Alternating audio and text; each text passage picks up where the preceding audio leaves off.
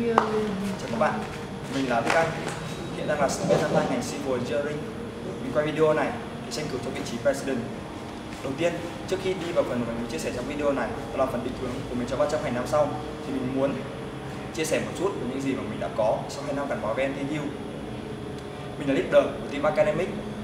Mình đã trải qua mình cùng với team Academic đã trải qua những hoạt động như là Career Sharing Day, Workshop, E-Friday làm guidebook for prospective student hay là moderator trên forum. Mình là ngoài ra mình còn làm marketing director cho event Career Networking Day 2013 đây là một event lớn, dành cho 200 đến 300 người. Khi mà trải qua event này, thật sự mình đã có được những bài học, những kinh nghiệm quý giá trong việc tổ chức một event lớn. Mình đã lừng mình đã có những kinh nghiệm khi mà gặp phải những cái lỗi có thể thường gặp như là những lỗi về program, những lỗi về operation, và bản thân, lỗi về marketing nhưng mình sẽ chịu trách nhiệm tuy nhiên thì mình tin rằng mình đã tạo được một mối quan hệ tốt với các trường bạn NUS, SMU, SIM thông qua event này. Ngoài ra thì mình còn tham gia rất nhiều các hoạt động khác của VNTU như FOC mùng 2 tháng 9 Tết với nhiều vai trò khác nhau từ member cho đến helper trong ngày đẹp trời thì mình có ngồi lại tự suy nghĩ và viết ra những điểm mạnh điểm yếu của bản thân. Và nếu các bạn nào có hứng thú với mình thì các bạn có thể lên forum đọc bạn đọc bản từ kiểm điểm của mình và cũng như đặt câu hỏi cho mình. Bây giờ, mình xin chia sẻ một chút. Mình xin chia sẻ về những điều mà mình muốn nói trong video này nhất. Đó là định hướng của mình cho bắt chấp hành năm sau. Mình có bốn định hướng tất cả. Ba định hướng đầu tiên, khá tương tự như cái định hướng năm nay của ban chấp hành, mình muốn tiếp tục duy trì và phát triển. Thứ nhất, đó là giúp giúp Fedman hòa nhập tốt hơn với cuộc sống tại NTU nói riêng và Singapore nói chung. Thứ hai thứ hai, đó là giữ vững các mối quan hệ tốt đẹp với trường và các tổ chức bên ngoài như các alumni, các công ty hay các hay là các trường bạn.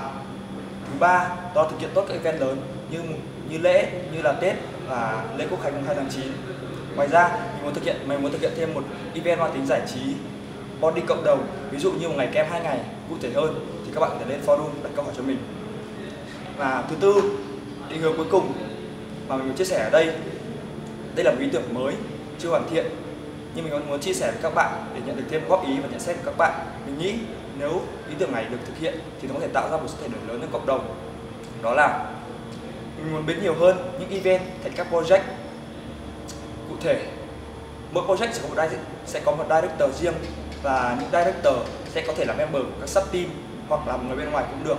Các director sẽ tự tuyển các core team cho mình và thực hiện event. Tất nhiên là vẫn có sự hỗ trợ tối đa của ban chấp hành nếu thực hiện được điều này, mình nghĩ có thể tạo nhiều cơ hội hơn cho người tham gia vào các project cũng như giảm tải khối lượng công việc khá là dài, khá là nặng trong cả một nhiệm kỳ cho sub team mọi người có thể có nhiều cơ hội, nhiều lựa chọn hơn vào các project mà mình muốn tham gia vào nhiều vị trí khác nhau.